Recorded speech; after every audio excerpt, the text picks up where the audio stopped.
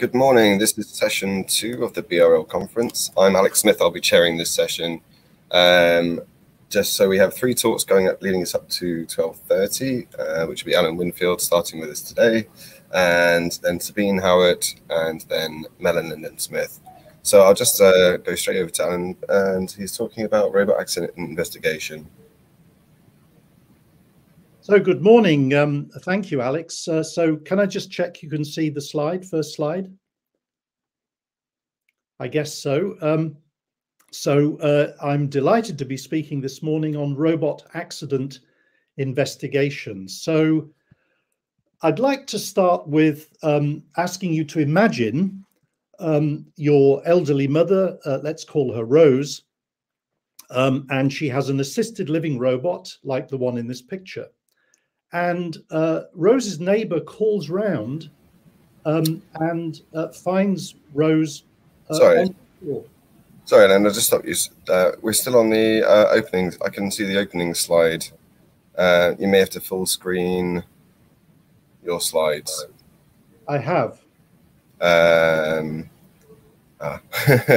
it's not. We, we, can only see the the opening slide open in PowerPoint at the moment. Uh, well, I don't know what to do about that. If you um, stop uh, stop your stream for a 2nd mm -hmm. your, your shares. Uh, stop stop sharing. Stop sharing. Um,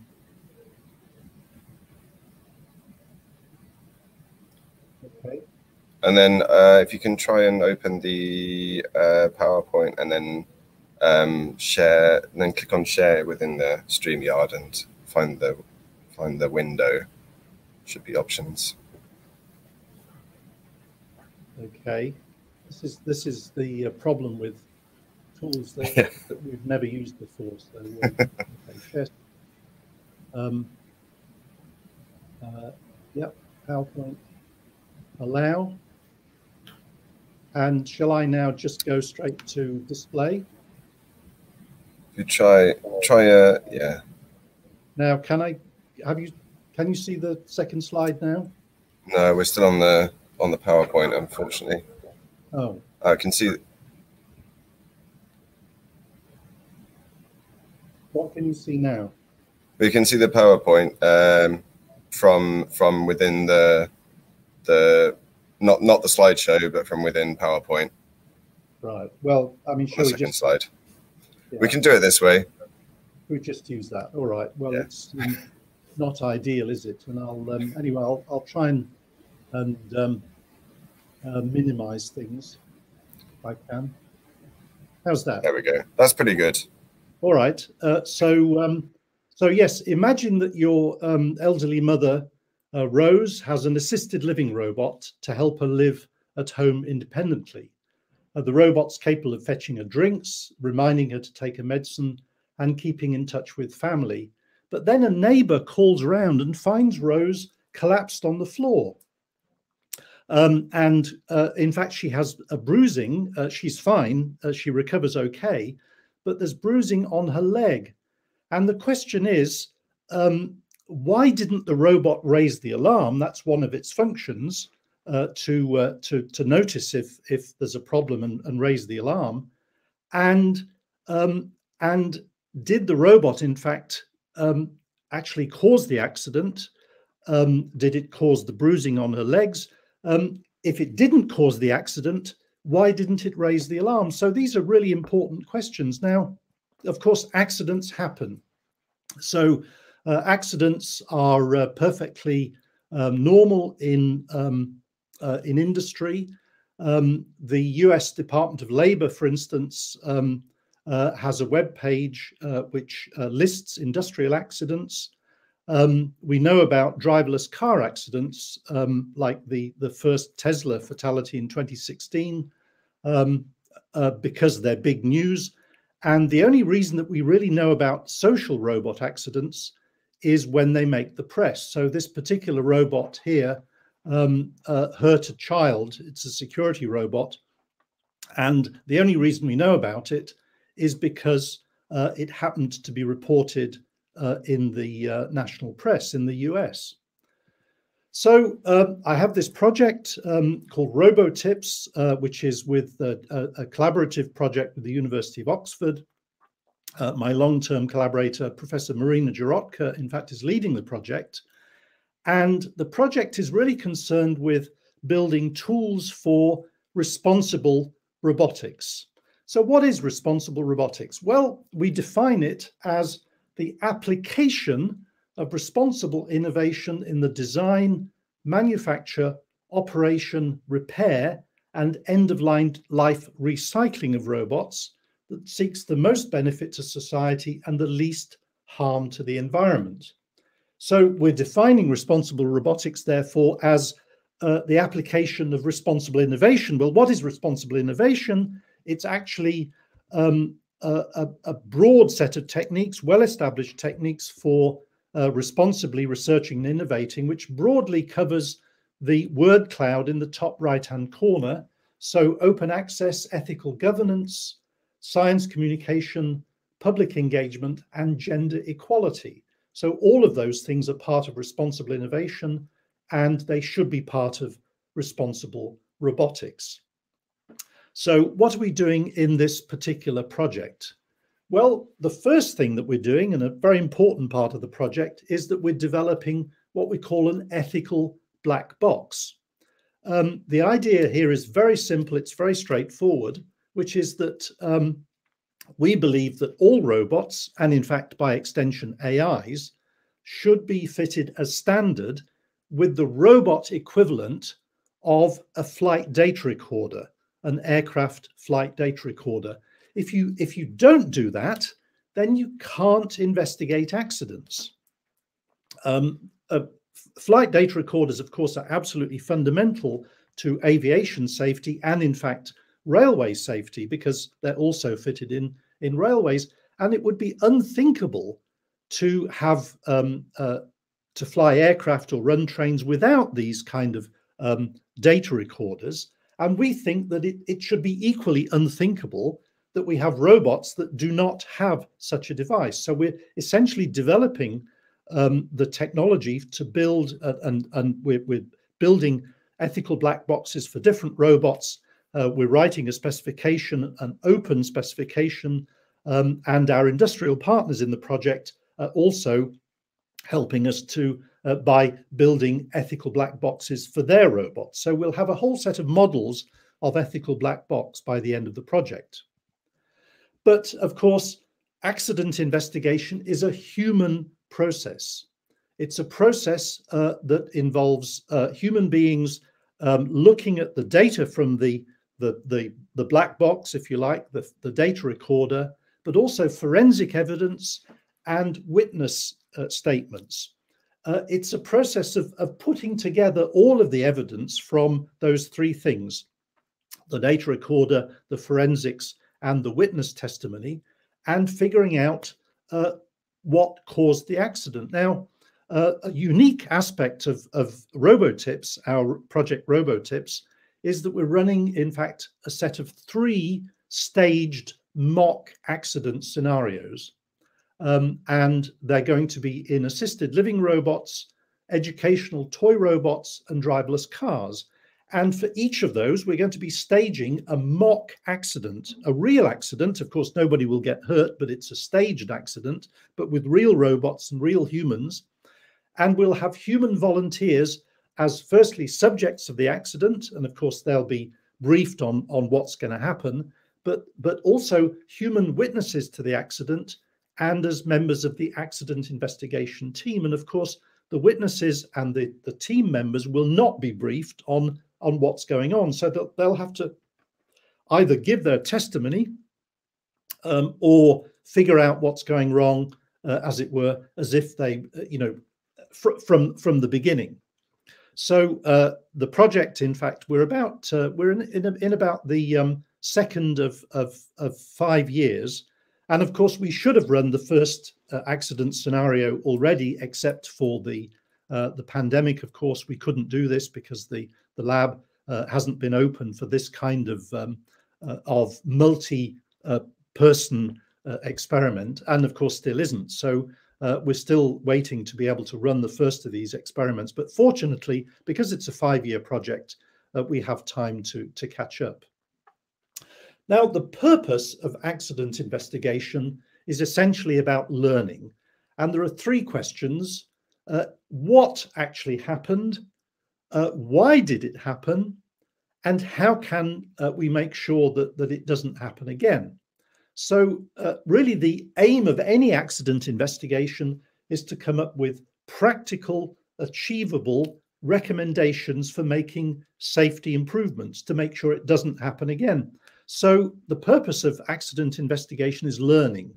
Um, and this um, uh, this uh, motto, "Anybody's accident is everybody's accident," is the is the motto of um, the aviation uh, accident, um, uh, if you like, community. Uh, of course, aviation accident investigation is a very well developed um, uh, process, very highly regarded. It's the gold standard, if you like, of, of accident investigation. And it's really important in aviation that, that they share data.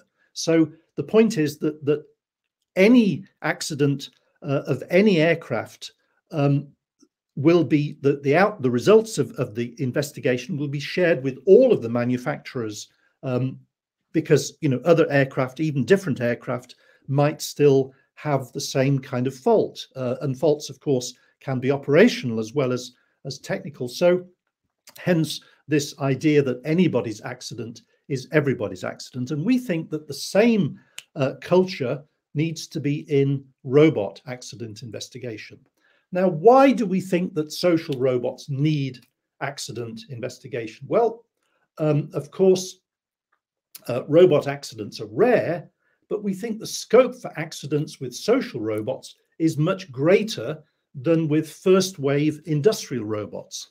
Why is that? Well, firstly, because industrial robots operate behind safety cages. Social robots do not. They're designed to be among us, up close and personal. Secondly, Industrial robots are, of course, in, in environments optimized for them and not humans. That's not true for social robots. Social robots work uh, are designed to work with uh, humans up close and personal.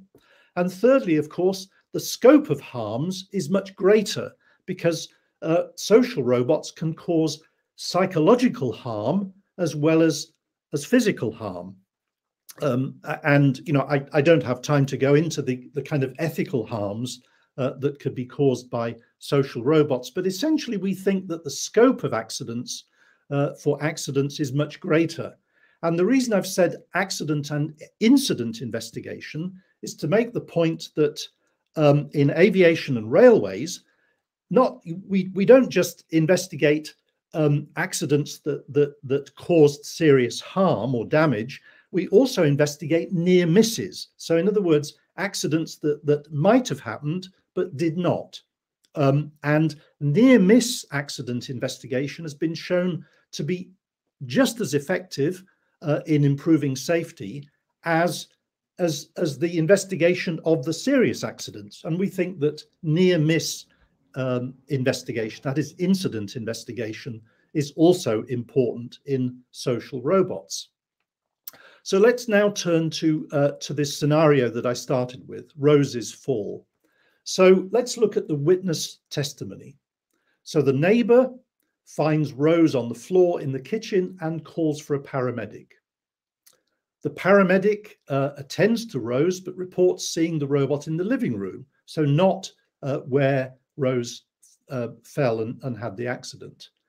And the paramedic also notice, notices Rose is not wearing her fall bracelet. So, any of you have an elderly mother like mine, like I do, will know that uh, panic alarms um, and fall bracelets are quite commonplace.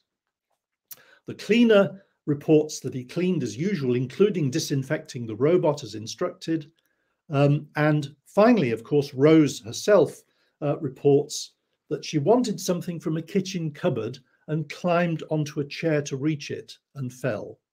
She also remembers calling out for help. So there's clearly a lot of clues. There's a lot of important information in the witness testimony. So now let, us look at the, the results from the ethical black box. Now, of course, the ethical black box just contains a bunch of numbers, but um, typically we will need tools, which we're also developing, to allow you to visualize and interpret the data from the ethical black box. And this is a kind of um, a visualization that we can imagine. We haven't yet uh, got to the stage of, of, of building um, uh, real visualization tools. In fact, we have students doing that work right now. So the big um, blue arrow in the middle is the timeline going from left to right, and the red arrow shows Rose's fall. Um, and uh, so the the the uh, the uh, the um, we can assume that um, Rose was discovered by her neighbor uh, at zero hours, and and the the estimate of half an hour before then uh, Rose's fall is just an estimate. So the the point is that that the robot doesn't know uh, that Rose fell. That's part of the problem. So this is just an estimate. Now the red boxes at the top are interactions between the robot and Rose. So it waits for instructions. Uh, it reminds Rose to take a drink of water. It tells Rose it's lost connection with the Wi-Fi. Well, that's curious, isn't it? And then again, it reminds Rose to take medicine and drink water. And again, um, about an hour before we think she fell, uh, she tells Rose that it lost a connection with the Wi-Fi. Again, that's that's that's there's something wrong there. And the blue boxes show the robot moving around. It leaves its charging station about four hours before the accident. It moves to the living room, it moves to the kitchen, it moves to the living room, and is still apparently searching for Rose when the neighbor calls round. And then the green boxes are the status of the connection uh, with the home hub, the Wi-Fi connection. And you can see that ro the robot loses connection with the home hub, uh, and then and then that's just before it reports that to Rose, which is kind of mad because what would Rose do about it? And then again here, so we know that the robot didn't have a connection with the home hub twice, um, and critically, uh, um, less than an hour before we think Rose fell. So what are we going to do with all of this information? We have witness testimony and we have information from the ethical black box. Well, um, we've um, uh, we're recommending in a new paper. The new pa the paper is is out uh, roundabout now. It, it should be um, uh, published in the next week or so, called Robot Accident Investigation. Um, and we're recommending the use of of a technique called a why because graph. So this rather complicated graph essentially um, is a way of connecting events to consequences. So, um, and there are four different kinds of boxes. So the square boxes are events, and clearly um, Rose's fall is an event. And uh, the robot failing to raise the alarm is also an event. Um, and actually, you can see that that really we've we've we've realized here that there are two accidents. Um, and then these um, boxes with corners uh, are processes. So these are actions uh, pertinent to the accident, things that happened. Uh, states, the, the triangular boxes, are states uh, that remain true for the whole of the uh, period of the accident. And these round boxes are unevents. In other words, they're events that should have happened but did not. We call them unevents. And you can see that, um, well, essentially, uh, Rose decides to try and, and, reach a high cupboard. That's an event. Um, climbs onto the chair. That's a process. And then slips off the chair.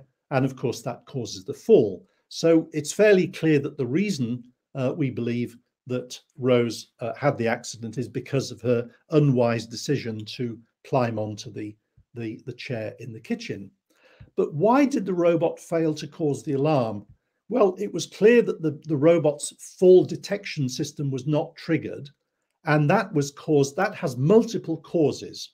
So we have at least uh, four or possibly five different routes to this accident. So, firstly, Rose calls out for help. She said that she called out for help, but the robot is too far from Rose to hear her. So there's a problem with the microphone, perhaps, in the Rose, uh, in, in the robot, sorry. And also, the robot has sensor errors because uh, even if it had been close enough, uh, it probably wouldn't have, have, have noticed that, that Rose slipped off the chair. And we think the sensor errors might because, be because the cleaner is disinfecting, if you like, scrubbing the sensors, uh, which would probably not be a good idea. And of course, we know that Rose was not wearing her fall bracelet. The paramedic reported that. Um, and critically, and this is a critical failure here, the failure of the robot's wireless connection to the home hub means that the data from the home hub is not reaching the robot's fall detection system. But even if it did, the robot can't raise the alarm because it's not connected to the Wi-Fi.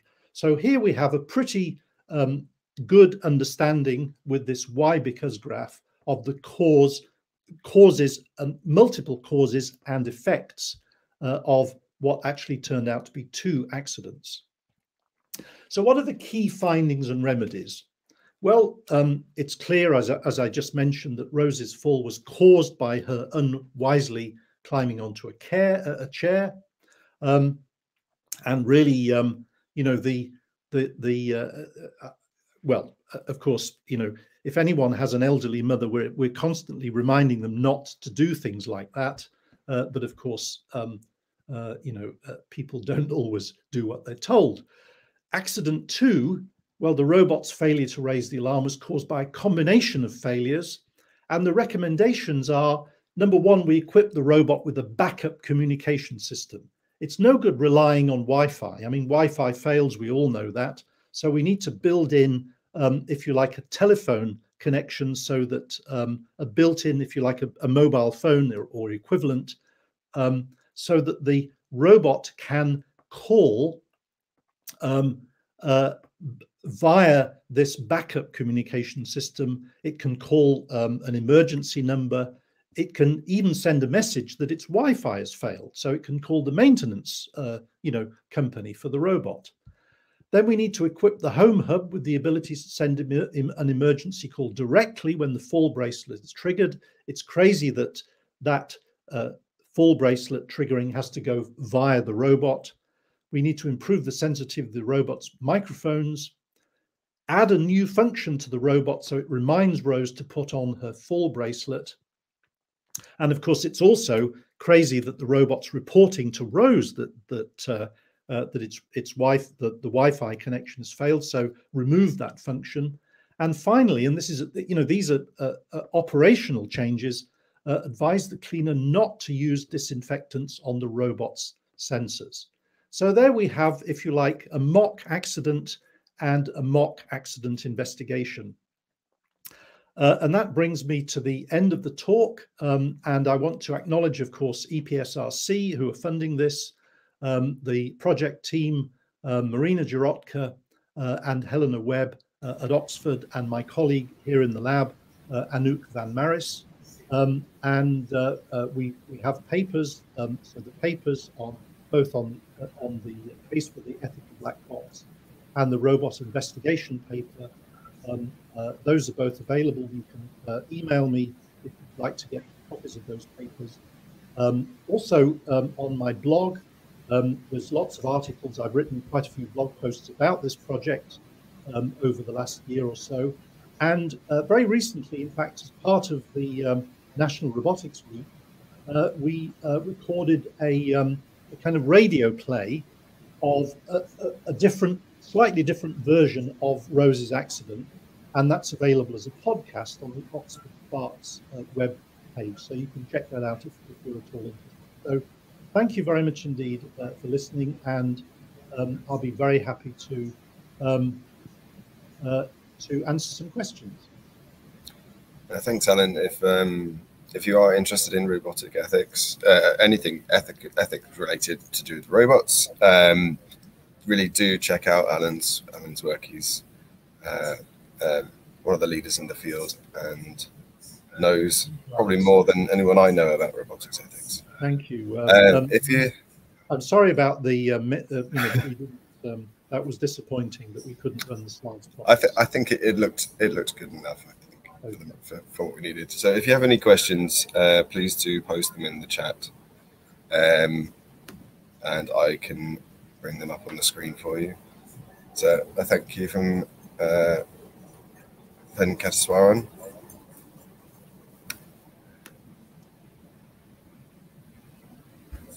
Yes, um, in fact, uh, Venki is, is is one of the master students who's working with me on this. so, uh, so thank you, Venki. That's great that you were able to check in.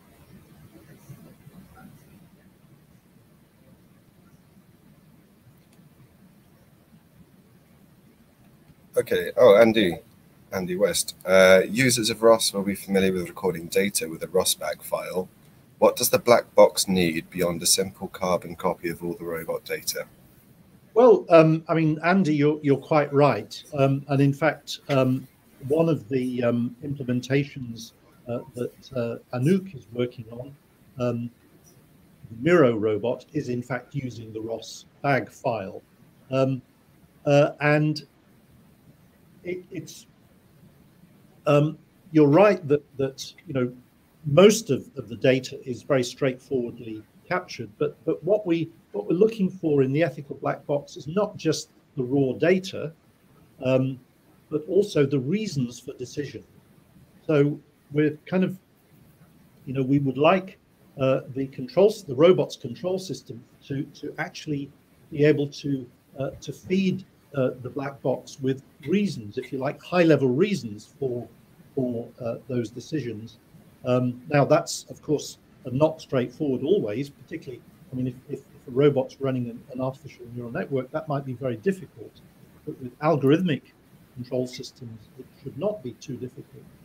Um, uh, so, but yes, you're right. I mean, robots that run ROS, um, then constructing the, the black box is relatively straightforward, although we do have to worry about um, um, uh, security of the data, integrity of the data, and the fact that the the the ethical black box needs needs to always save the most recent n hours of data. I mean, you know, uh, an aircraft flight data recorder typically records the most recent, I think, 17 hours of flight. Um, and, and an automotive event data recorder, it's only 30 seconds. But the point is that you need to organize the data so that you're always recording the most recent data and, if you like, uh, losing the, the oldest data. I hope that answers the question. I think there's also a point there with ROS bags. If you um, if you record everything that the robot's producing, like uh, camera streams, you mm. quickly end up collecting a lot of useless um, data and video stream stuff. So it's it needs to be a bit more complicated than just the ROS bag, I think. Uh, we have time for probably one more question if anyone has anything.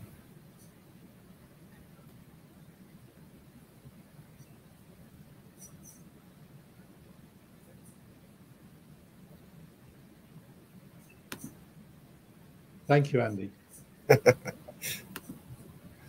Um, I was going to ask actually. I mean, so you, you did mention uh, automotive black boxes, which record at 30 seconds.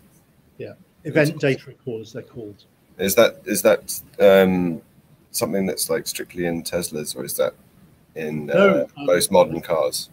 Um, essentially, th there are there is a standard, of, uh, an IEEE standard uh, for these in draft, but right now there is no standard for event data recorders. And those manufacturers that choose to put them in the car essentially design them themselves. So they're proprietary designs.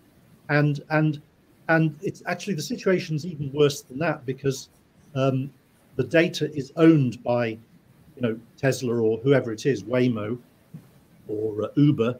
Um, and uh, essentially the, the accident investigators have to rely on the company volunteering that data.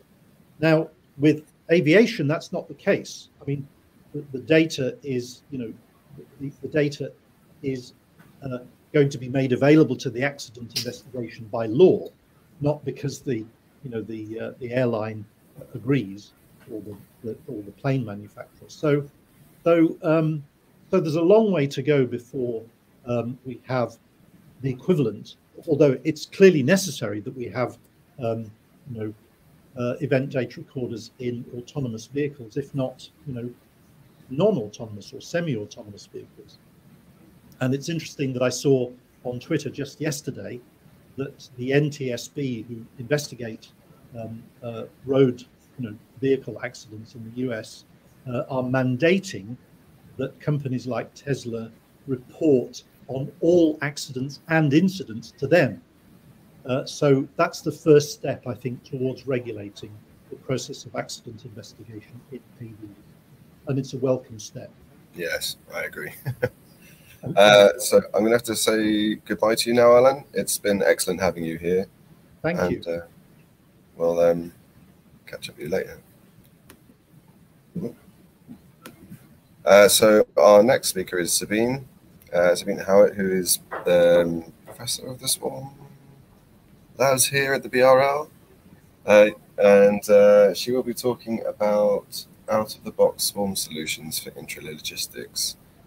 Um, if you got your slides ready to go? Excellent. Okay, I'll hand you over to Sabine. Great. Hi, everyone. Thanks so much for joining this talk. I'll be telling you about my work quite broadly, engineering swarms um, across scales and what we think uh, this has the potential to translate to in the world of intralogistics. So, as a swarm engineer, uh, very often what inspires me is swarms in nature. And if you look at this flock of birds, they can do beautiful, complex dances in the sky. And that's the result of every bird interacting with their local environment. There's no one leader bird telling every bird what to do. And this has many features that are useful for real world applications. So, for example, as you keep adding birds to the flock, the flock continues to operate so it can scale to large numbers. If a bird falls to the ground, the whole flock doesn't crash to the ground, so they're robust to individual failure. And together they can do more than the sum of their parts. For example, they might be better here at avoiding predators. And so when you're a swarm engineer, you start to see examples of swarming or self organization everywhere around you, whether it's these flocks of birds or ants as they create trails to your picnic table, or bees as they make decisions about their next nest site, or our ability to grow fully functioning human beings from just a couple cells. Now, the challenge is uh, very often we, we have a task, a swarm task that we'd like to achieve. We'd like to do collective motion. We'd like to optimize trails. We'd like to do decision making or consensus formation, or we'd like to grow structures or functional shapes. But we what we need to discover is the design of those individuals and how those individuals interact with the world around them. And that's ultimately the puzzle that we solve as swarm engineers. Now, we in, in our team have been going about that in two different ways. One way is to use bioinspiration because we're grateful that biologists have studied uh, some of these systems before us and can give us tips and ideas on how we might implement rules of swarming in engineered solutions. And the other strategy is sometimes we have a swarm behavior we want to achieve. Say you want to create a communication network in a disaster site, for example, or you want to organize boxes in a warehouse. Well, maybe you don't have a parallel in the natural world that can give you your rules. And in that context, what you need to do is is explore the rule base. So you could explore those local rules by guessing them. You could explore them by having lots of people guess them, which is a, of, a form of crowdsourcing. Or indeed, increasingly, we use machine learning as an automatic way to discover the rules that give us desired swarm behavior.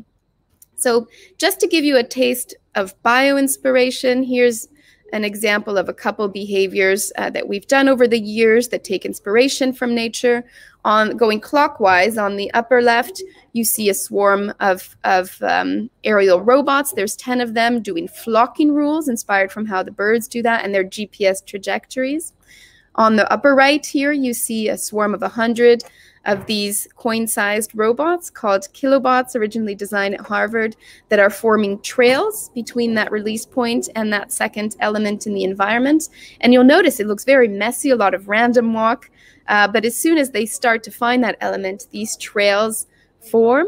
On the bottom right, you're looking at a form of consensus formation with robots that are blue or red communicating locally a decision. So that decision is the blue or the red. The hope is that the swarm as a whole reaches the consensus blue. So they should all turn blue.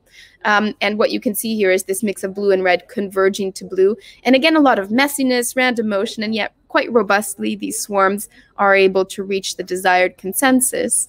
And on the bottom left here, what you're looking at is a form of morphogenesis. We're inspired from how cells interact by, by sending signals to each other. We can get these spots emerge, which is inspired from Alan Turing's spots. You see those on animals, on zebras.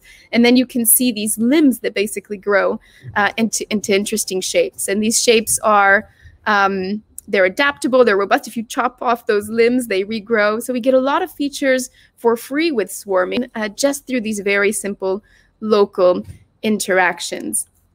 Now, uh, when you don't have that bio-inspiration, what we then revert to is exploration. And here what you're seeing is work with Matthew Studley and Alan Winfield and Simon Jones, essentially doing online evolution of controllers. And why do I say online? That's because the controllers are being evolved directly. Let me play this for you again.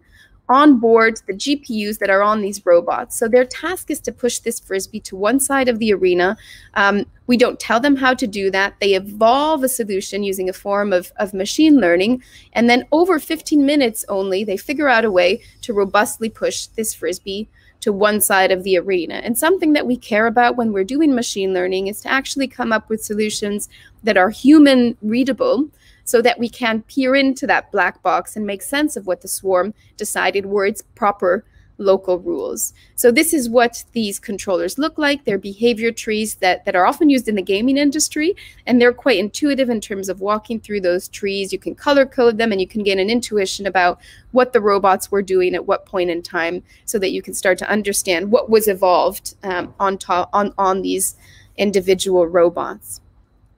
So I think we've um, reached a stage um, where we actually have the ability to design algorithms using different methods. We, we are able to design different types of hardware platforms. Uh, I didn't show you many of the robots that we've been building, whether they're in the air or on the ground or in the water, uh, or actually in the body. So if you're ever interested about the micro nano robots that we do for cancer treatment, please ring me up. I'd be happy to tell you about that. But we can do algorithms, we can do hardware, and I think we're at a stage where, where we should start making swarms for people and getting these swarms out into the real world. And so, how do we do that? Well, I think that the first stage is communicating with the public. So, we run two nonprofits called RoboHub.org and AIHub.org to connect the robotics and AI communities to the public so that we can tell them about the research that we're doing within our different areas. But we've also been running different outreach events so that we can ask the public what they would do with swarms. So here you see before COVID a little escape room that we built where we would lock participants in a room and over 40 minutes they would need to break out. Um, uh, learning about swarm robotics on the way. And at the end, we could ask them where they thought swarms would be useful um, and what the risks to, or versus the benefits to society were. And you can see the wealth of different examples that they came up with, many which we had been thinking of, like cleaning the ocean of plastic, construction, inspection. Um, so medical application search and rescue. Some that we hadn't thought of like massages. So it's always interesting to see what the public has as ideas. Farming as well uh, came up in agriculture. So lots of potential for these technologies.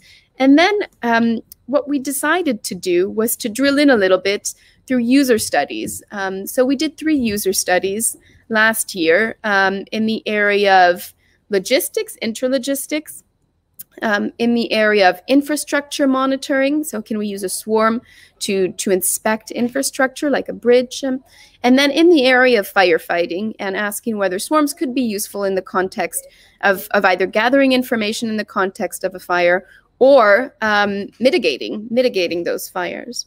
And what was really interesting with these conversations is that this was done by, by many students who were either at the start of their PhD or during their PhD to help inform the technology that they were developing.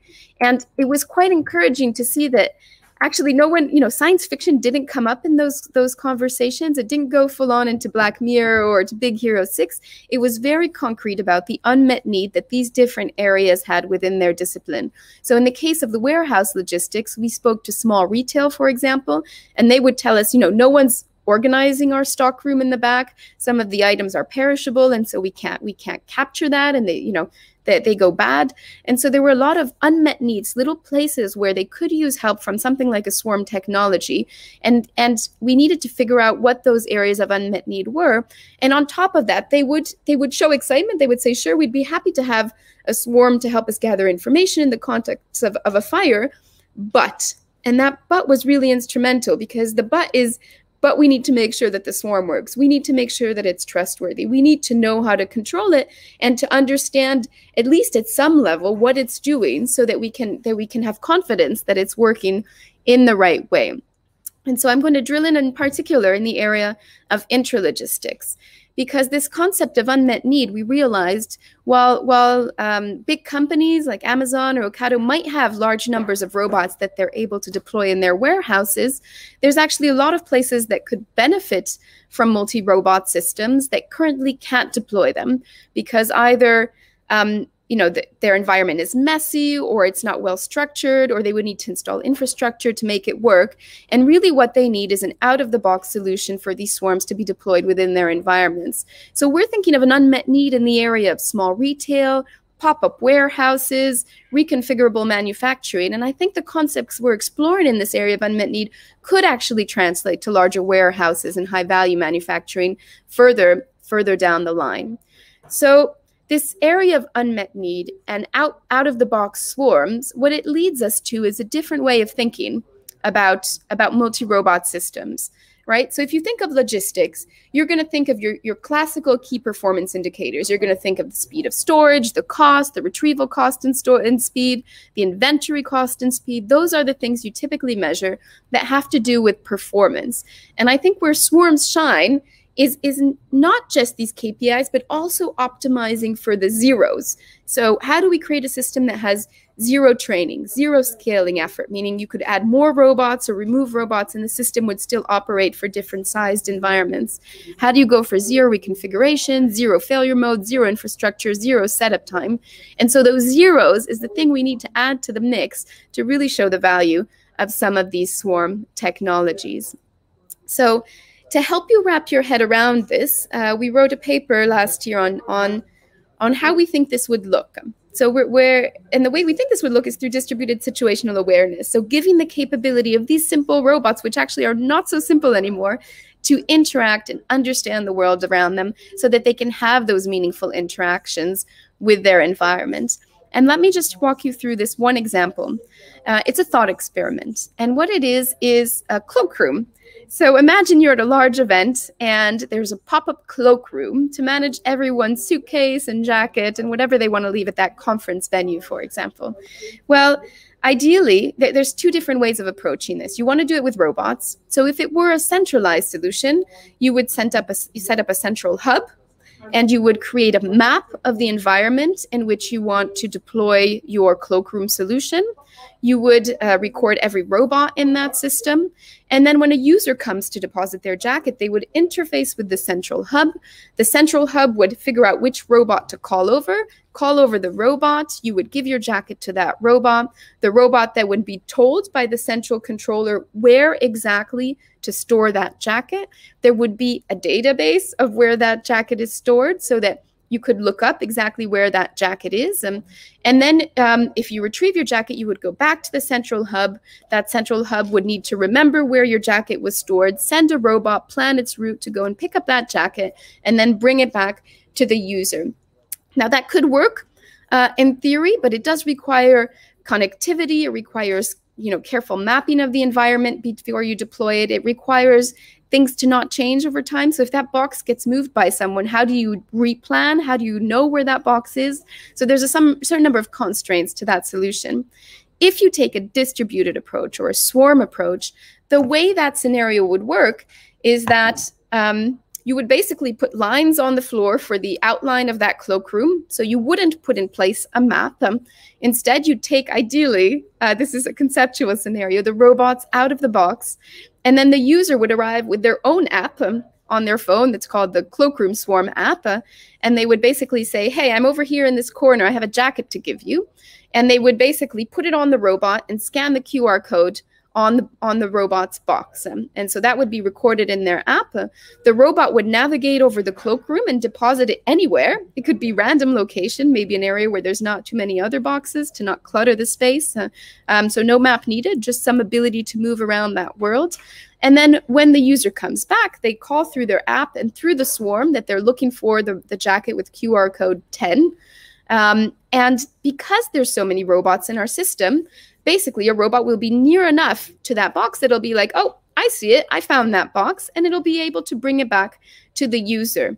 So here what's interesting is that we don't have a map uh, of the environment. We haven't stored the information of where that box is, but we have a very rapid lookup capability. So we could give you real-time information about that arena uh, without having to store it in a database. And there's no central point of failure. Every user has their own app uh, to be able to deploy the system. So these are the types of things that we're thinking about in terms of distributing um, intelligence across the swarm and making uh, use of their ability, the robot's ability to perceive and interact with their local environment. So with this in mind, over the past three years with Toshiba, we've been building um, the DOTS for distributed organization and transport systems.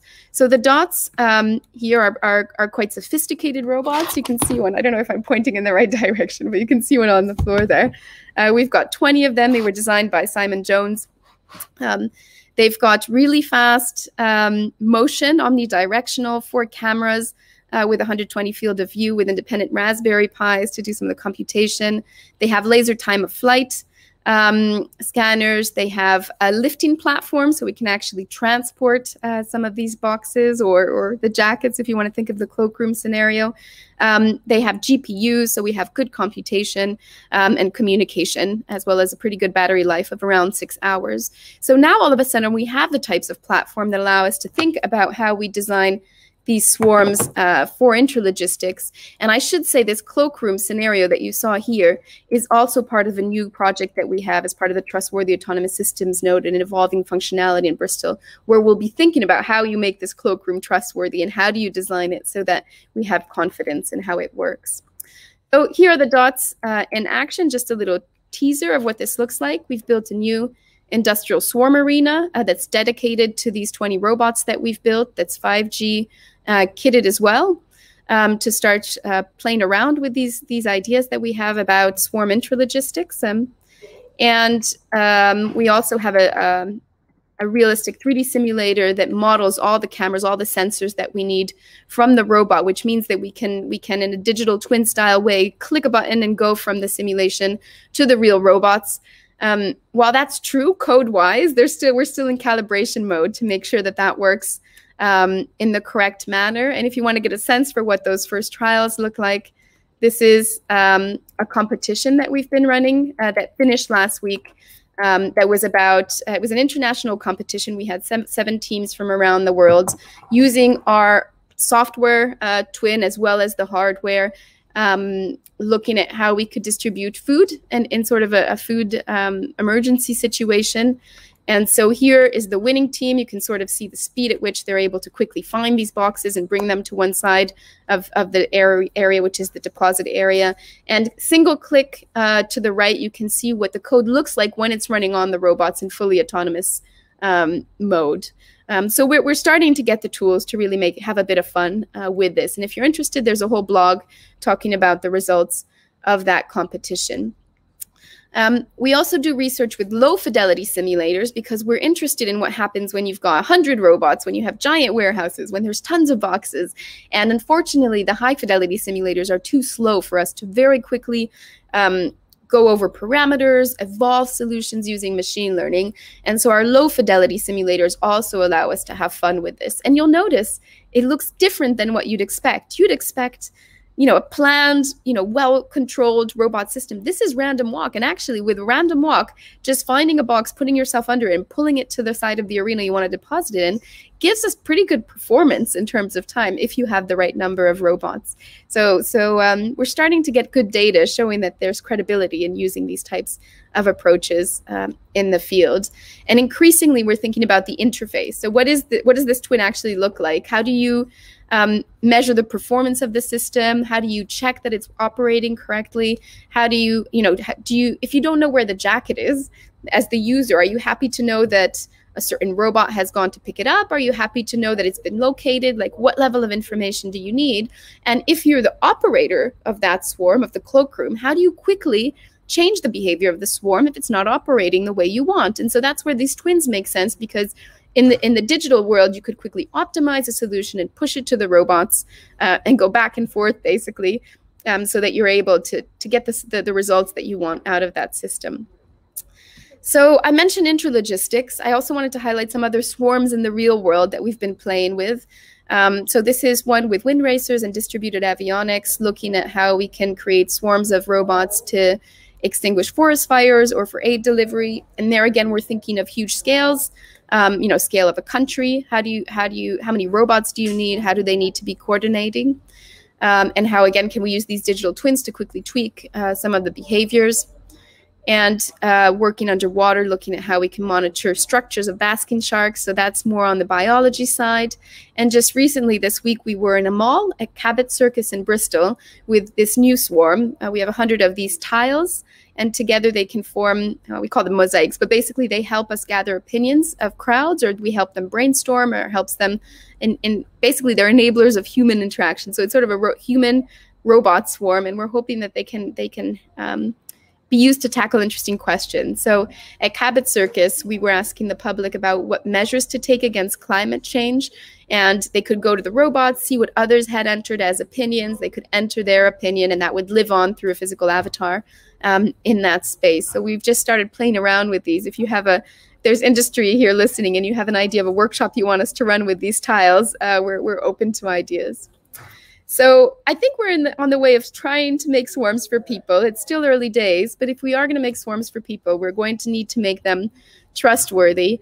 And so with this in mind, we're also just starting to wrap our head around what that would look like. And I think Alan Winfield's presentation is a great example of some of the things we should implement um, to, to basically check that our swarm operated in the way we wanted it to operate. It should anything go wrong or what was the issue uh, with the swarm if something did go wrong.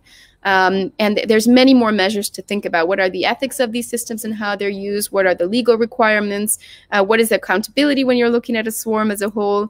Um, how does that swarm interact with the user? So the swarm um, can convey a state to the user so the user can understand them, but also so the user can control the swarm in a meaningful way.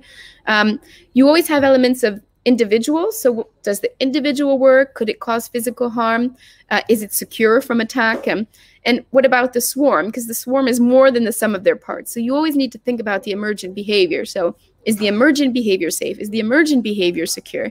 And, and is there an element of verification that we could do or testing that we could do to build confidence um, in, in these systems? So um, I hope I've walked you through some of the things that we're thinking of bringing swarms into the real world. Intralogistics is, is one angle that we're currently pursuing, but open to other ideas where you have multi-robot needs. Um, a lot of this work is cross-disciplinary, and I didn't touch on the micro and nano robots that we do for, for biomedical applications.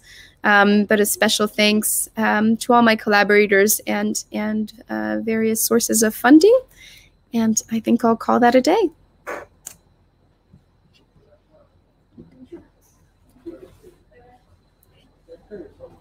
Can't hear you, Alex.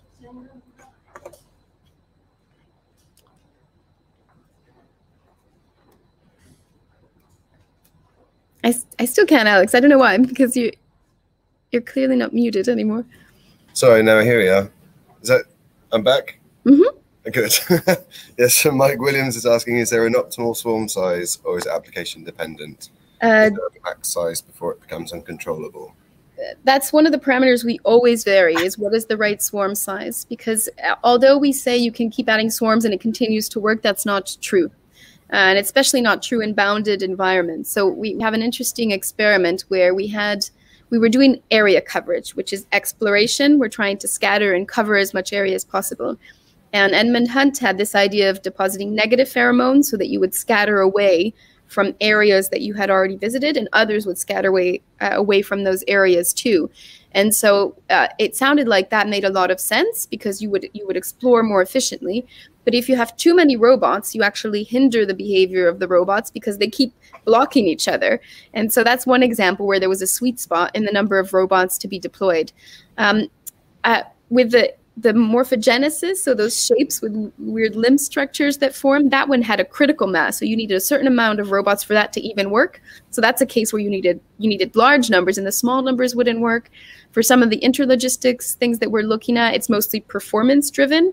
So small numbers of robots can often do the job, but you have to wait longer. And so we're, sort of trying to understand what the sweet spot is there. And you can imagine if you have too much, you get crowding again. So um, there is, I think there is often an optimal, and we never know what that is. Thanks that. Uh, we have a question from Woody. What was the low fidelity simulator written in, and are there any specific libraries used? Um, that one was written in Python. We uh, it's it's open source, so MS Paper has a Git um, to it, so you could download it. We we we've been we've been trying to bring everyone on board with a common simulator, but everyone likes to do their own cooking. But so it's it's not very difficult in the sense that it's dots on screens that have certain radius to them, communicate within a certain radius, and then react to their local environment based on their position. Um, so it's it's it's often possible to create your own in whatever tool you're interested in, whether it's Python or MATLAB or C++. I think there's um there's one there's quite an old one called Boids B O I D S, yeah. which is um mm -hmm. a very quite an early swarm simulator, isn't it? Yeah. Yeah, yeah that, the high fidelity uh, simulator is all Gazebo based, so that one we're really using off the shelf tools. Yeah. Uh, so I think just one more question um, from Matthew Starkey. Is, are there any companies actively working with swarm robotics at the moment? So, well, well, this collaboration with Toshiba over the past three years is really is really about swarm robotics and how you create these networked systems and how they could be deployed. So, um, they're definitely interested in that. And actually, I'm seeing this bubble up all around me. I've, there's periods in research where you see that there's excitement in something. So, Windracers, for example, with their drones, are currently exploring how to use swarms um, for for some of these large scale deployments. Uh, I think anywhere where a single robot or two or three robots doesn't cut it in terms of the application you want to do is starting to think of either centralized multi-robot systems or decentralized systems. And when you think of decentralized, these swarm concepts kind of click really well. So, so I'd say um, there's definitely a, a, pull right now.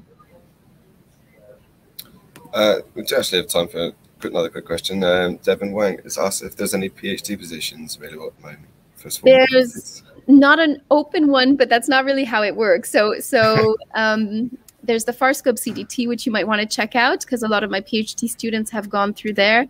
Um, and when I have a position opening in Swarm Robotics, I typically put it on my website. So you can check out my website on the jobs job sector.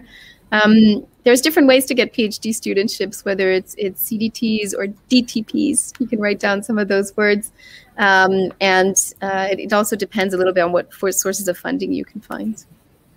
So I've just added a link in Thanks. the chat to Farscope if anyone's interested.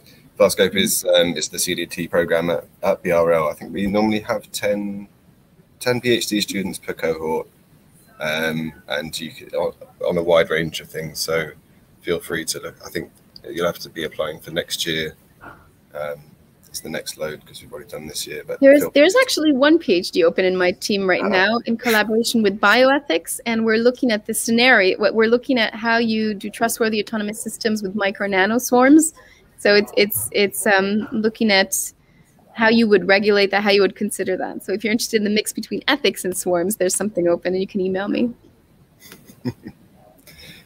okay, thanks very much, Sabine. Uh, I think we'll move on to the next talk, um, which is with Lyndon Smith and Mel Smith, unrelated.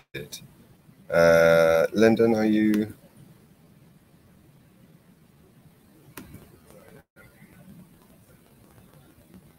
Hi, yeah, yeah. Can you hear me?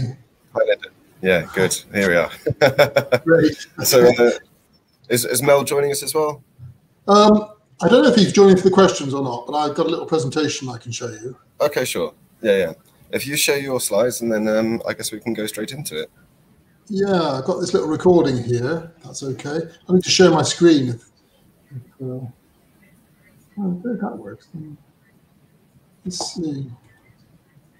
Oh, hang on a second. I'm just trying to share my screen. So, slight technical issues. No, we've not been too bad today. There we go. So is, it showing okay? If you uh, should just change to your the window that you want. I've got this presentation I can show you. Um, oh yes. Questions and answers after that, if you like. Yeah, um, sure. Yeah. Let's get this one going here. Let's see. Let's go. Here we go. Oh. Hello, I'm Lyndon Smith. I'm the professor in computer simulation and machine vision at UWE. And um, I'd like to give you a little talk today about robot vision. Um, let's talk about robot vision for start. What is robot vision? Well, um, I would say it's machine vision that's powerful enough to allow tasks to be undertaken robotically.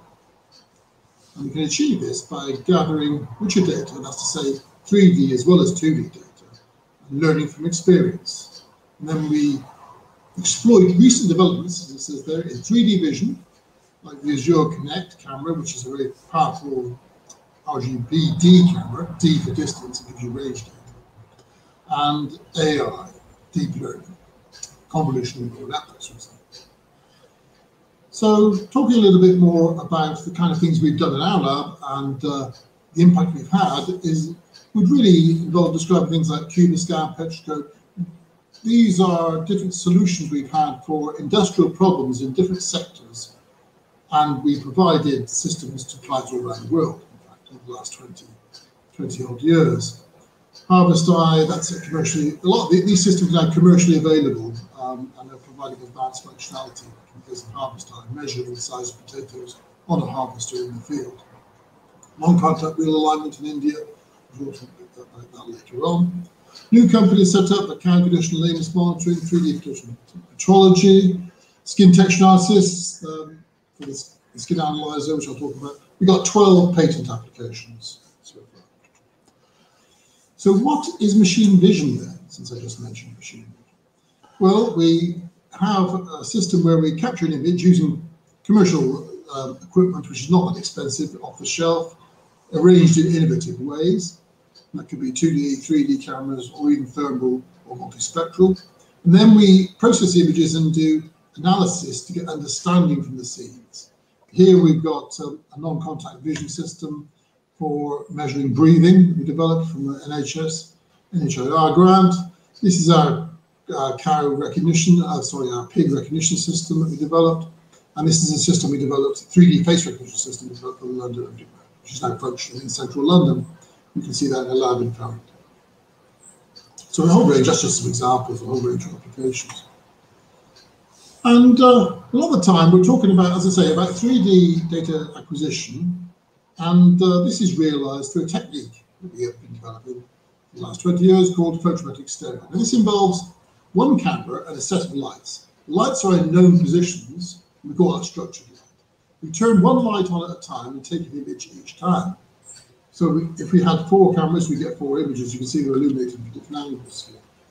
Then we apply what we call a lighting model to get 3D and 2D data from the scene. So the actual 3D data we get is something called a bump map. So it's a dense array of surface normals. Each of these little arrows is the normal to the surface at that point. And then you can visualize this or, or rendering, and it's like a three-dimensional model without any color. So we're getting three-dimensional information. This is the system we use for London Underground. It, it, can't be spoofed, face recognition that uses this technology. It can't be spoofed by holding a photograph of somebody else in front of their face, which most systems that exist at the moment can be. And we've used sort of mixed stereo in a very wide range of applications, actually. I just uh, go, for example, to camouflage removal. We did a project for the MOD. So this is a, mask we made up, three-dimensional mask we made up with colors. And then we had a camera and four lights and we captured these images. Then we applied a photometric stereo analysis and we got the surface gradients. It's a 3D, 3D surface. And so what we can do then is separate what we call the depth map, you know, the distance from the camera, from the albedo. The albedo is just the color. It's a bit like a normal image of reflectivity. And uh, the project we did for the MOD uh, involved us going over getting some some, some equipment actually from, from uh, Toys R Us. We've got these uh, toy guns and hand grenades. And I put them, or we put them onto a surface and do some pretty good camouflage. You can see it's not very obvious what we got there. Then we apply our technique. You can see very clearly the 3D profile what we have there is very clear. The camouflage is removed. It can be removed. It was quite a successful project for the MOD. They were quite pleased with that. Thought we could use it on different scales. You could use it on the large scale of the field or just a close up close because it gives you this three-dimensional information, which is quite useful. You can detect suspicious items under clothing, you expose it and so on. So what I'd like to do now is go through a few case studies of uh, things that we've done in our lab and useful functionality we've produced. The first thing we did was uh, for a company called Quantronix in Salt Lake City. And uh, we developed this large-scale metrology system for measuring uh, you know, air freight on pallets up to six feet by six feet by eight feet, so a pretty big scale. And uh, we made it for them, and they, they sold it back to the UK actually, and uh, they told us they sold over a million pounds worth last time I spoke to them, uh, million dollars worth, sorry. And so it's easy easy to operate. There's obviously nothing to crash into. It's all ceiling mounted there, and we got it working. It even works in quite bright lighting actually. So that was that gave us the funding during that project to set up our machine vision lab, which we've been developing over the last 20 odd years. And that was our first important project. Other examples of projects we've done over the years include um, an aggregate analysis project called the Petroscope we did for a, a, company in Iceland. And he had nothing when he came to us, this chap, but we developed this for him. And uh, he, saw, he started selling the systems. The idea is you do analysis of aggregate as it's being produced in the quarry rather than sending it off and waiting for two weeks.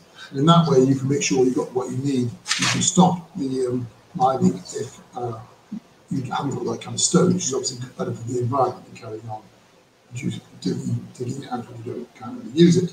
So that's a petroscope. Then just showing a wide range of of applications that we did. Um, we had a project, a student said to me his father was running a company, a student one of my master's courses. I said, oh yeah, yeah. And then it turns out he did, and we developed the system for him for £100,000 and paid us. You see that these pillars here contain cameras and lighting, lasers, and we're accurately able to produce a system that accurately measures wheel alignment and uh, completely non-contact. So you, normally you hang things on the wheels to do this, but this system is completely non-contact. And we, after a lot of effort work, we did get it working very accurately, and he's now selling this thing.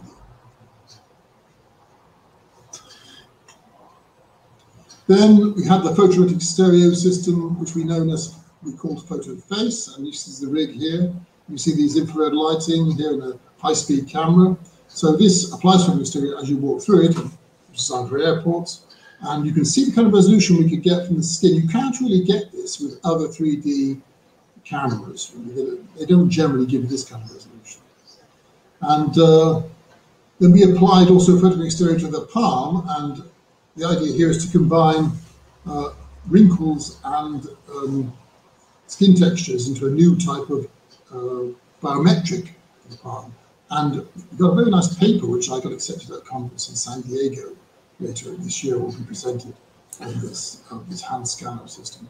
Good for the COVID situation because obviously non-contact, you just hold your hand above the camera, below the camera, it's configured, and then it will grab this information high resolution without any contact with, you, with the palm. Better than the finger readers that you get on the entrance to, to sort of gyms and so on. Then a project which is very close to my heart is, of course, the UWE skin analyzer, again we got photometric stereo with six lights and a central camera, and we can recover fairly high quality, high resolution images of the skin. We can separate the 2D from the 3D and uh, also do um, quite good teledermatology because we can we can do interactive visualizations of the skin. We can move the virtual light around and we can move the viewing position around. So rather than over with the patient. So it could be useful in Australia, say, when the doctor's in Sydney and the patient's in the outback and you can't travel so thousand miles very easily. This could do it for you. And also we can measure the ABCD characteristics, which are 2D characteristics of moles. And we can measure it repeatedly and therefore we can detect change, which is a very good indicator of suspicious moles. At the moment, it's very difficult for doctors to detect change in moles, and therefore difficult for them to be reliably sending people to the specialist clinic. And here is an example of what we can do with it. So we have we uh, gather the albedo, which is like a reflectivity of the, of the like a 2D pigment, 2D picture of the pigment and then we get the 3D textures, and then we can combine them to get the 2D and 3D, and this is where we can do the virtual visualization. And this can take teledermatology to a new level. It's, it's much more realistic than just the, the sort of webcam images we get at the moment um, from moles that doctors are trying to appraise. So there's two areas, automate ABCD, there's three areas, there's automate ABCD, looking at 3D textures as indicators, and then doing this virtual virtual visualizations for teledermatology. Now, just to show the wide range of uh, applications that we've had in our lab, I'm going from skin cancer with the skin analyzer to looking at cows. This is a favorite project of mine, this one, because I, I'm surrounded by uh, farms here, and it's nice to have, and actually the farm we did this with is not far from here at my house here in Somerset, so, so it was nice to have a client nearby. And you can see here that we have a CD mounted camera, which is measuring the 3D characteristics of the cow in terms of range data. And the, and the curvature, you can see that curvature of that spine, and that is actually related to whether the cow is lame or not. And so this is a new system can measure all the condition of the cow, um, give a condition score more objectively, and also can detect lameness and thereby avoid the, the, the need for culling the cow if it's not uh, put right or whatever's wrong with it. So it's um, quite a nice system. We, this is now commercially available. It's working all around the UK. Arla are using this with their heritage.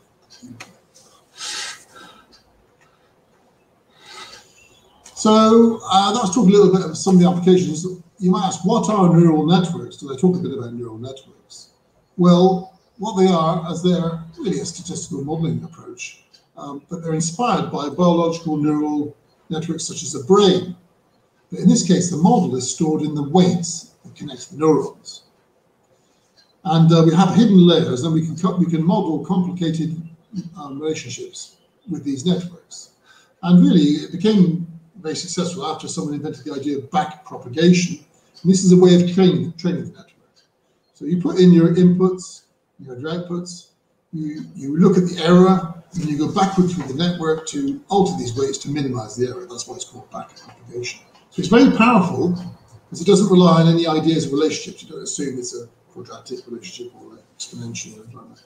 It's just purely data driven, and we find it to be very powerful. And then the thing that makes it uh, even more powerful is, is when we have convolutional neural networks, which is a bit of a more complicated concept that I can't go into detail here. But basically, in this, some of the layers that play convolution, which is a, an image processing approach, uh, which is like in filtering, like you have in image processing software. And this um, uses these filters to characterize the image and detect features automatically. So as it says here, CNNs use convolution and require less pre-processing compared to other image classification algorithms. This independence from prior knowledge and human effort in feature design is a major advantage. In other words, we don't have to decide somehow what the features are we're looking for. The system does that for us. It automatically identifies the features of interest in images. And it's very powerful once it's done that. It can identify things even in the presence of changing light levels or changing perspectives and angles and it still detects um, objects of interest. It does, you could argue, what many people thought neural networks years ago were capable of doing. You, know, you could detect pencils even if you've got lots of different images of pencils with different orientations. It's a very powerful technique that we use a lot. And one example of that is the pig face recognition that Mark's been undertaking using convolutional neural networks and we're getting better accuracy in terms of recognizing these pigs than alternative approaches. And we've replicated results with open forks and pigs. We trained the neural network on the pig faces, so all these pigs look the same to us, but to a neural network, you can identify the difference. So we're identifying pigs without the need for the RFID tags in the ears, which are expensive and also harmful to the pig, really, and uh, can interfere with other radio frequency equipment on the farm. So it's, it's a good way to identify the pig. This next picture shows um, how the different regions on the face of the pig were scanned, how frequently they're scanned. So the red is the more commonly it's used by the CNN. So you can see here, there's certain parts of the image of the pig are actually more important for modeling the uh, what pig it is than other parts. We call that a heat map, What an area of interest to the CNN and also make sure that they, we're not modeling something else, like whether there's something in the background when you've got a certain pig clearing and things like that. Another area we've worked in is plant analysis, and uh, Gittis, a student ours, a good PhD in this. So again, he's been using um, CNNs, thing called a mask R CNN, to segment the leaves of a, of a, plant as it grows. This is quite interesting because the leaves move around. You want to make sure that you're identifying them correctly. He was able to do this quite well with his mouse cursor. And another application which is close to my heart is weed detection in grass. So we've got uh, low-cost cameras, image analysis software. We're looking at commercial spraying. The CNN, after we train it with certain images of grass with certain weeds in it, can automatically identify and segment the weed, as you can see here. Red is the segment of the weed. So then we can spray a bit of weed killer at the weed rather than spraying it everywhere. So we can save between 50 and 95% of herbicide, which is obviously great benefits to the environment, as well as saving a lot of money for the farm. This is something we're going to see a lot more of in the future. We have successful project working with a company, a farmer in Scotland, actually. So what we're talking about here then is um, robot vision that can use 2D or 3D data. And often both actually. So what we can do when we have this data is we can measure the dimensions of objects accurately in well-constrained and calibrated environments. We can also uh, segment uh, features of interest uh, in the image. For example, if we have a 3D camera, we can use the range data to identify things in the foreground which are of interest in the presence of things in the background which we're trying to get rid of. Then we apply machine learning uh, for pattern recognition as opposed to simply doing metrology. So in the, in the example of the skin analyzer I mentioned, there we can do metrology of the image of the mole um, to measure automatically the ABCD rules. A is asymmetry, B is border irregularity, C is color variation, D is diameter. So we can do that, and we can do that now. That's not a problem. The machine learning comes in when we start doing slightly more complicated things like an analysis of textures. In the case of the skin, we might be analyzing the texture of the skin in 3D. To, and we, we did do that. and We found that the more irregularity there was in the texture of the skin, the more chance it was of actually being cancer. So that was interesting. We could do more work, especially deep learning, to identify other features, other indicators of moles which may indicate the presence of cancer or the tendency for cancer to appear. So having mentioned deep learning, um, what that provides, as it says here, is uh, previously unseen robustness in real world environments. And uh, that is really useful because a lot of the time, what's been really limiting many machine vision applications and robot, robot vision applications has been variations in the environment. So you go outside and all the lights changing and uh, shadows are being cast. This causes tremendous problems a lot of the time for conventional vision systems. But in the case of deep learning, you have a lot of, you need quite a lot of data to train it, but once you've done that, it's more robust in the presence of these kind of variations. And if we can make it more robust and use vision systems and robot vision outdoors, this opens up all sorts of exciting opportunities. For example, we can develop robot systems that can interpret their environment and thereby undertake difficult tasks, maybe even in conjunction with human operators. Uh, and, but the robots might be able to do the more difficult, dangerous, or dirty jobs in, say, a farm situation, or mining, or any other difficult um, application. And this is something that hasn't been possible up to now. But when we get this more rich data combined with this greater uh, image understanding and scene understanding from deep learning, then we're facilitating a much more useful generation of robot vision systems. So that's really um, where we're coming from in uh, the Centre for Machine Vision, in the BRL. Um, if you have any questions, uh, you can always drop me an email I'll get straight back to you. Uh, we're always interested in research collaborations and deal with companies all the time, we work with companies, that say, all around the world, but um, we have many projects going on in the UK at the moment and I'll be very happy to talk to you. This is just an example. What I've given you here is just a, a, a sort of a flash view of, of, some of the things we've done. I've many, many projects and haven't covered these new emerging areas all the time. But one thing I would say is that most of the time, the really, really exciting advanced technology is coming from the um, conjunction and combination of 3D data along with 2D and deep learning.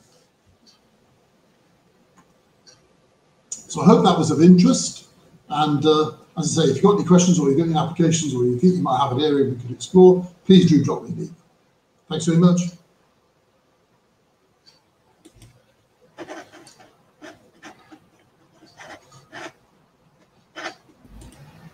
Excellent. Thanks. Okay. Oh, great. Yeah. Um, All good. I'm just trying to stop this thing from showing the screen now. Um, That's all good. It's uh, that's. I think we're all good now. Ah, yeah. Can you see me at all? Yeah, yeah.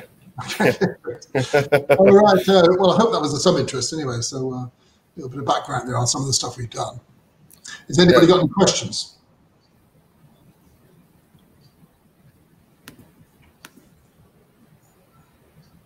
Got some time. I think the first question I'd have if someone showed me a, anything like that would be, how do you get the money to do it? Mm. you know, we, we got lots and lots of good ideas, but um, the big challenge all the time is getting some proper funding, really. So that, that, that's getting more difficult all the time, of course.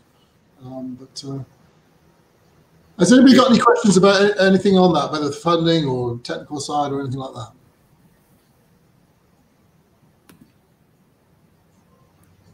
So I was going to ask Lyndon actually the um the the system you were using to spot cows going through. Where did the funding come through from that one? Um, yeah, well, that was a that was an Innovate UK one, um, as most of our projects are, or at least a lot of them are. Innovate UK, you know, so in other words, government funding, and um, I think it was Lena over in Applied Sciences uh, who originally in- introduced us to the, the farmers who had this application. They're down in Glastonbury, the farmers, Hmm. and so we went down there. They wanted to measure these cows automatically, the condition of them, you know, and therefore. Um, yeah, it was a very nice project. We everything fitted together nicely with the kind of thing we could do, you know, what they wanted to do. And um, I think Innovate UK probably liked it because it wasn't typ- completely typical. I guess we got this niche, you know, of 3D and deep learning, which is which is a little bit unusual. Most people are just looking at videos, and you know, most most labs in machine vision are looking at 2D stuff most of the time. So, Mm. yeah, so it was Innovate UK. Yeah. Uh, we've got a question from Chris Howell. How do you prioritize those ideas? all all the ideas I was presenting about how we do things, and um, I don't know about applications or the technology there, really. But um, sorry, s- um, if I if you were asking about the uh, the um, applications, then to be totally brutally frank, a lot of the time we chase the money, don't you? Really, a lot of the time you get funding for something, so you go ahead and do it. you know, um, but I think when you get well known in a particular area, I think we've got a little bit of a profile in the Centre for Machine Vision and the BRL, a little bit of a profile. So when you get a bit more well known, people do, do come and approach you. The ideas for the funding, yeah. Um, well, what we normally do is we get somebody who has an application requirement. Okay, so someone needs us to do something. They've got a company's got a need. They need to sort something out, and they and they realise that our advanced, you know, 3D vision technology might provide a solution for them. So actually, so that's where it comes from, a company requirement to answer your question. But then, of course, the first thing after having a chat with them is we look at is is there a funding route for it? Because it, you know we've got brilliant ideas, they've got a strong solution requirement, but unless there's some kind of funding route, we're we're scuppered really. So uh, so the answer is it's the, it's the industry requirement, but it has to be followed up by a good funding funding channel really. Uh, we have another question from Leicester's. Uh, with the neural network training, do you train from scratch networks for each different application, or can you reuse the trained weights? I imagine the features are similar between applications. Yeah, that's a good question. Um, well, in case of deep learning, um, in an ideal world, we would train everything from scratch. But when you deal with companies, uh, they usually don't have much data. And actually, I've got some medical work going on, PhDs and so on, which I haven't talked about in the presentation, but it's even worse getting data there. It's really difficult in medicine to get data for various reasons. So we usually don't have enough data. So what we do is that we, yeah, we do use uh, transfer learning quite a lot. So in transfer learning, it's like in that thing with the with the weeds and the grass. You know, the, fact the farmers don't want to mess around in the field gathering loads of data really most of the time. You know, they they just got a limited set of data. So we use transfer learning and data augmentation. I don't know if you want me to go into what they are, but um, a couple of techniques whereby you can expand. You, you know, transfer learning is the one you're asking about, where you take um, uh, a network which has been trained on ImageNet, for example, and then you you retrain it on a limited data set, and that works amazingly well. That works remarkably well. And in the case of the pigs I showed you, for example, I think Mark was using a data set that had been changed on, know, trained on human faces. I don't know if he did hardly any retraining on the pigs. It still worked. You know, it's it's amazing how you can get things working with similar kinds of data with a limited amount of data. You might have just say 30 images for each class, and you can still get 80 odd percent reliability because deep learning is so powerful. Yeah. Uh, Chris was uh, just saying he's asking for looking for solution to industry questions. I think maybe the best thing for that is probably to email you directly, Lyndon, and just uh, you could probably go in more more depth um, a separate Yeah. time. Certainly, yeah. If you know the company who's got a problem, then uh, yeah, you know, we'll have a chat, we'll get together, and uh, we're doing that all the time. you know. Yeah, there's there's lots of different funding routes, and it's um it's Yeah. it's, it's it's quite complicated. It can be it can be quite complicated, but Yeah, I mean, Innovate UK, I can complain about it, but it's actually one of the simpler ways. Compared to NIHR or, or Europe, you know, it could be a lot more complicated, to be honest. Yeah, so yeah. it's quite a good one, actually. Uh, we have another question from Tanvir. Uh, does this neural networking could solve problem in automation and construction? Yeah, that's interesting. A good question. I was just having a, a chat with a colleague yesterday who, who was exactly into this. Civil engineering, definitely, yeah. So the idea we've got is um, the productivity in engineering in the UK is a bit low. We're looking for ways to improve productivity. In building site analysis, you could have cameras, 3D systems, LiDAR and so on, looking at the environment, analysing what's going on, checking the movement of stuff around the building site, um, applying deep learning to work out optimal solutions to save money and time when you're moving things around to make sure things are arriving on time. So it's a massive potential for applying this kind of thing in in, in construction industry, and we're just trying to do something. I just trying to get um, Lamine, there's a guy at UWE who's into this, and we're just trying to get together to get a project off the ground because he published a paper in a journal that I was the guest editor for about a year ago. Me and Mel were guest editors for, and it was a nice paper. It was on exactly this, but but we can really provide a lot of expertise on the machine vision and the deep learning side, which and he has all the knowledge of construction. So yeah, it's a hot it's a hot area, I think. Yeah. I think we, we have time for one more question, possibly, um, before the panel discussion starts. Um, if anyone's got anything else they would like to ask.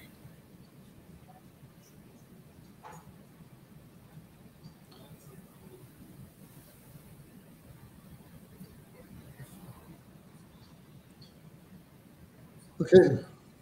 I think we're probably probably That's good.